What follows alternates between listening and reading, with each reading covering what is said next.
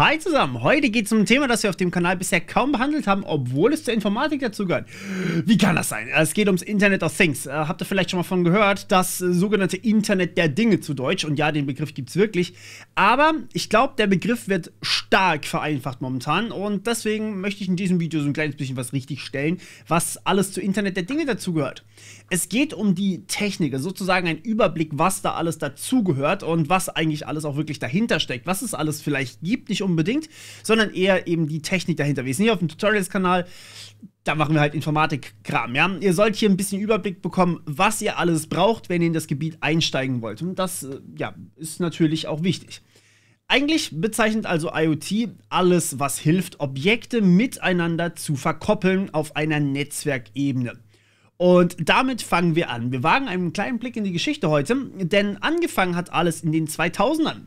Hört sich komisch an, aber es gibt seit den 2000ern eigentlich offiziell das Internet der Dinge. Und zwar wurde in den 2000ern RFID-Chips entwickelt. Ähm, für zum Beispiel Transport. Das ist quasi wie Routing im echten Leben, ja. Man ähm, hat quasi ein Objekt und das muss von, sagen wir mal, China nach Deutschland kommen und ja, äh, dort dann eben halt irgendwie verwendet werden oder ausgeliefert werden. Und das kann einfach sein, es kann aber auch sehr, sehr kompliziert sein, denn man hat nicht unbedingt immer ein, eine Ladung an Objekten, die immer an denselben Ort müssen. Und deswegen hat man sich gedacht, Mensch, dann packen wir einfach auf verschiedene Kartons, die quasi zum Beispiel alle nach Deutschland müssen, packen wir einfach RFID-Chips drauf und dann wissen wir direkt, wenn wir diesen Container zum Beispiel scannen, wo das ganze Zeug hin muss. Und das hat die ganze Inventarisierung äh, extrem verleichtert, auch das ganze, ähm, den ganzen Transport hat das extrem revolutioniert und hat eigentlich schon seit einigen Jahren jetzt stattgefunden. Aber es ist natürlich auch dazu da, dass man zum Beispiel Verlust vermeiden kann. Das heißt, ich kann zum Beispiel sehen, ist das Ding noch angekommen oder ist es halt irgendwo auf dem Transportweg verloren gegangen. Deswegen kriegt ihr so coole E-Mails von, von zum Beispiel Post etc., die euch sagen, dass was verloren gegangen ist und dass sie leider nicht wissen, wo das Ding eigentlich hin ist.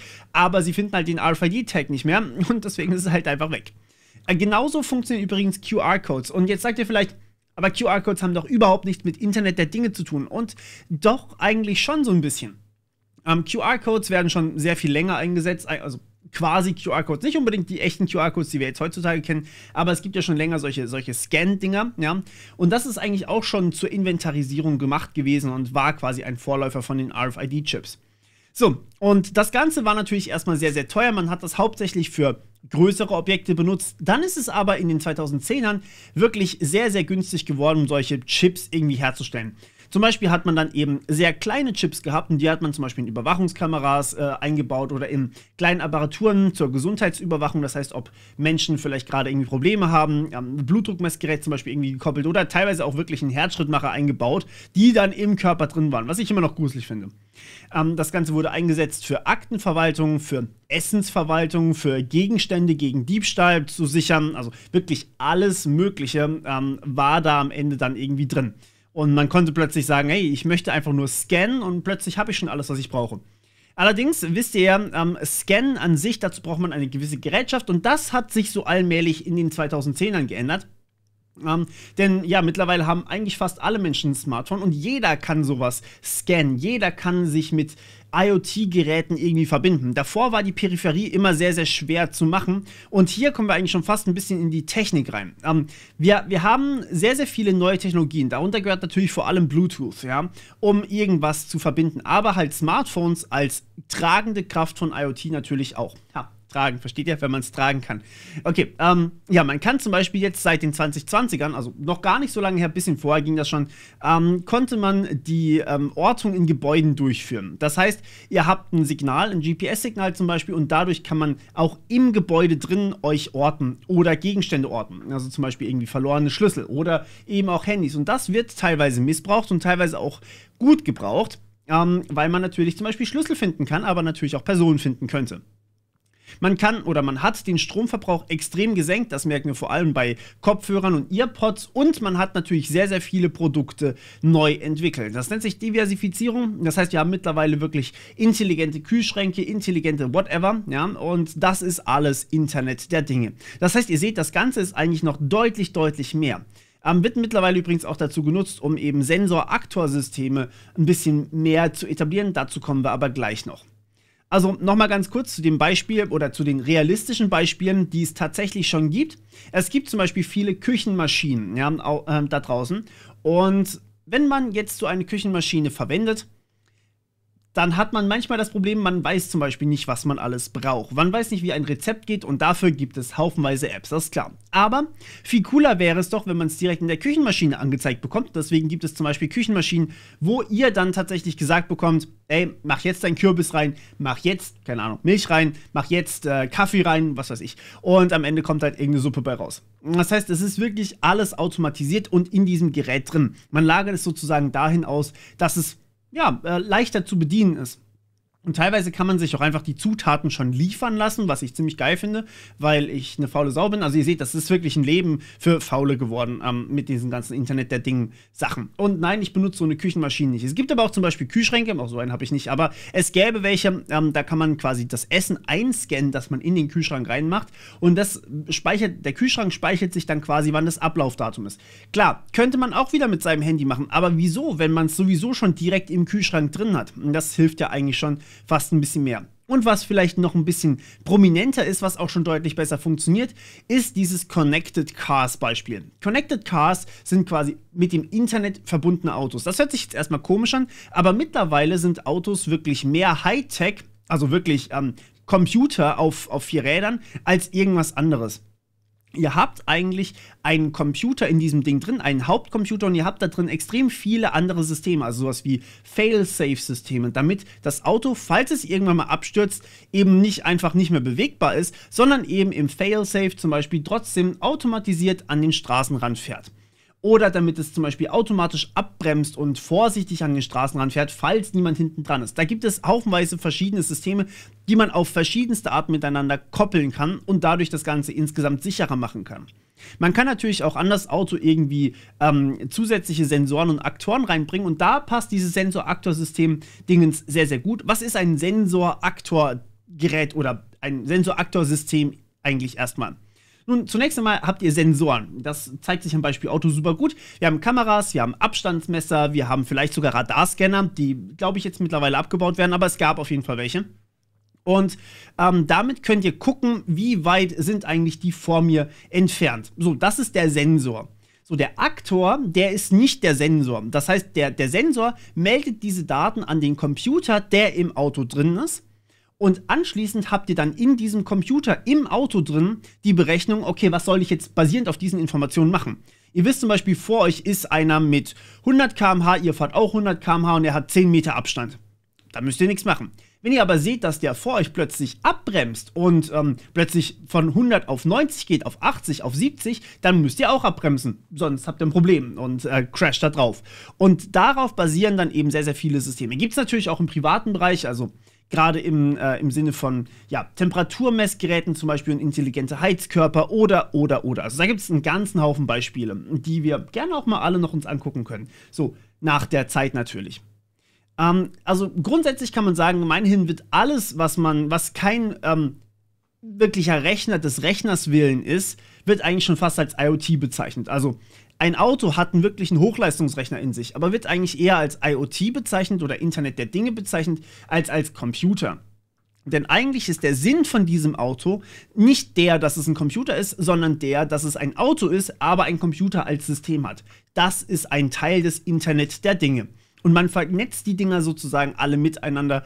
Und ja, da fragt man sich natürlich, how? Wie, wie kann ich die Sachen alle miteinander verletzen? Und das geht über Technologie. Haha.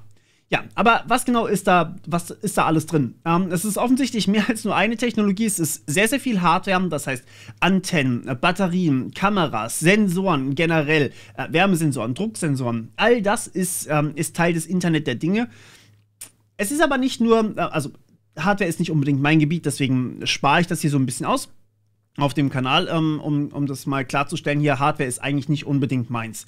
Software ist aber eher meins und da muss man sagen, Auf diesen ganzen Mini-Rechnern, also kleinem Auto vielleicht nicht, aber in vielen Systemen läuft ein absolut minimiertes Betriebssystem. Also ihr könnt nicht zum Beispiel auf so einem kleinen Kopfhörer irgendwie ein richtiges Betriebssystem installieren. Das wäre viel zu groß, würde viel zu viel Leistung fressen und natürlich auch viel zu viel Batterie fressen. Und da gibt es ein paar coole Optionen. Ähm, einmal haben wir Contiki, dann haben wir Android Things, dann haben wir C4, wir haben TinyOS, wir haben Riot, ähm, wir haben ARM, Embed OS und wir haben sogar ein Windows 10 IoT, was äh, ja tatsächlich auch funktioniert.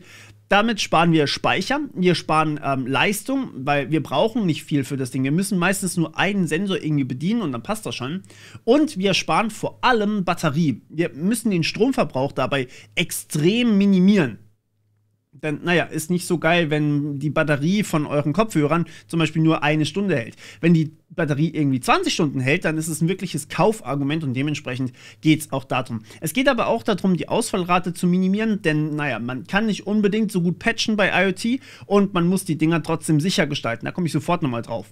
Zusätzlich sind die Dinge auch wirklich so produziert, also generell IoT-Geräte ähm, sind so produziert, dass sie möglichst billig sind, weil, naja, wenn sie teuer sind, dann kauft sie niemand. Das ist ähm, ne, ein trauriger Trend eigentlich, aber ist so ein bisschen mit dabei.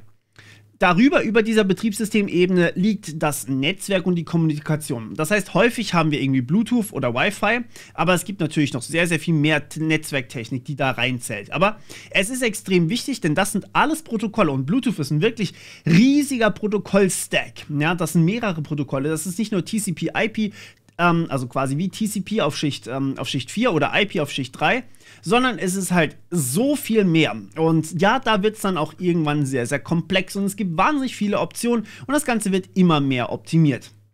Es gibt aber offensichtlich auch Überschneidungen mit anderen Themenbereichen zum Beispiel. Ähm, mit nur den Netzwerkdaten kann ich recht wenig machen insgesamt. Das heißt, ich brauche irgendeine zentrale Verwaltung, das habe ich ja gerade schon gesagt, einen Server zum Beispiel, der die Daten auswertet, einen Heimcomputer für die Steuerung meines Smart Homes und so weiter und so fort. Aber häufig wird das zum Beispiel auch mit einem Raspberry Pi gemacht. Das heißt auch wirklich für private Anwender das Ganze. Ähm, aber dafür muss man natürlich auch die Anwendung entwickeln. Und das sind tatsächlich sehr viele Anwendungen. Wir haben zum Beispiel Anwendungen oder Webseiten, die sowas machen. Wir haben aber auch Machine Learning, die zum Beispiel diese Daten irgendwie evaluieren können und darauf dann Schlüsse ziehen können. Wir haben generell Data Science, vielleicht auf Statistik basierend, aber nicht unbedingt auf Machine Learning. Gibt es ja auch. Und ein ganz wichtiger Bereich, den ich hier nochmal betonen möchte, ist, ist die IT-Sicherheit. Ja? Also von IoT-Geräten, die IT-Sicherheit ist zu einem großen Teil einfach wirklich sehr, sehr furchtbar. Ja, häufig werden einfach nur Standardpasswörter verwendet. Das heißt, ähm, der Hersteller gibt quasi ein, ein Passwort vor. Und naja, es wird halt niemand dazu gezwungen, es zu ändern. Man findet teilweise nicht mal Optionen, es zu ändern. Und damit kann jeder einfach drauf zugreifen. Das ist ein bisschen schade, denn IT ähm, oder IoT besser gesagt könnte noch so viel mehr sein, wenn es wirklich auch sicher verwendbar wäre. Es muss ja nicht immer ins Internet gehen, sondern es kann ja auch einfach nur im lokalen Netzwerk sein und man kann zum Beispiel mit einem VPN-Netzwerk drauf zugreifen dann. Okay, aber es gibt noch mehr Bereiche sozusagen, wo man das Ganze weiter spannen kann. Und die möchte ich auch mal kurz zumindest erwähnt haben, damit ihr hier in diesem Video so einen kleinen Überblick bekommt, was da eigentlich alles dazugehört.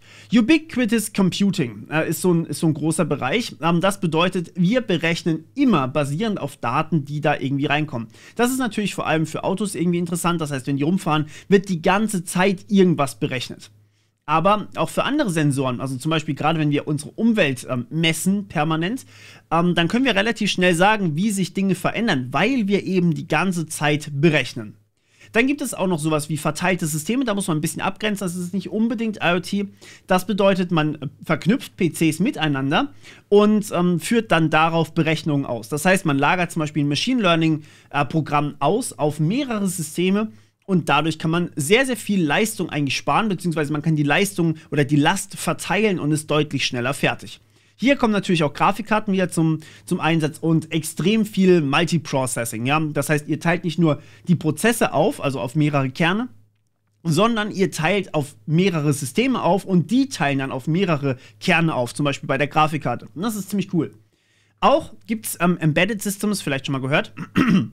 Und zwar ähm, bezeichnet das sozusagen die sehr, sehr hardware-nahen Systeme. Das heißt, sowas wie äh, Treiberprogrammierung zum Beispiel oder halt wirklich auf Systemen, die eigentlich im, im, ja, in der Hardware drin liegen. Und da gibt es auch sehr viel, was man da machen kann. Und jetzt äh, darf ich mich auf eure Meinung gespannt machen. Äh, denn ja, wollt ihr mehr zu dem Thema wissen? Wie spannend fandet ihr dieses Thema auf einer Skala von 1 bis 42? Wollt ihr selbst in diesem Bereich aktiv werden vielleicht sogar? Dann habe ich sogar noch was für euch. Denn wenn ihr jetzt sagt, hey, eigentlich kann ich schon voll gut programmieren oder eigentlich kann ich schon voll gut mich mit dem Internet der Dinge auseinandersetzen, dann kann ich euch Get in IT empfehlen. Dort könnt ihr in über 7750 Jobs euch ganz, ganz einfach bewerben. Oder sollte ich sagen, die Firmen bewerben sich bei euch. Denn das ist der Kniff hierbei. Ihr könnt hier einfach kostenlos, also komplett kostenlos für euch ein Profil anlegen und dann über euer Profil hier einstellen, was ihr eigentlich alles an Fähigkeiten habt. Wir haben jetzt hier schon einige Sachen gemacht und ich würde jetzt hier einfach mal das Internet der Dinge eintragen, das Internet of Things.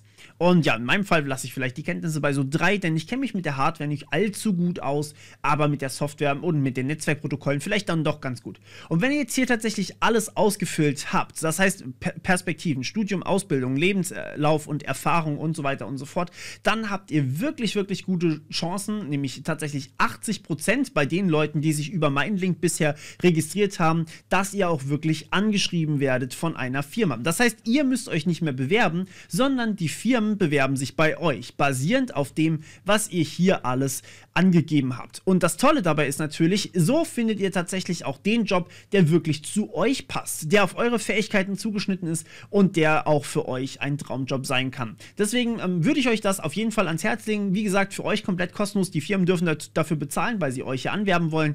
Und ja, ich wünsche euch viel Erfolg dabei. Wir hören uns wieder beim nächsten Mal. Bis dann. Ciao.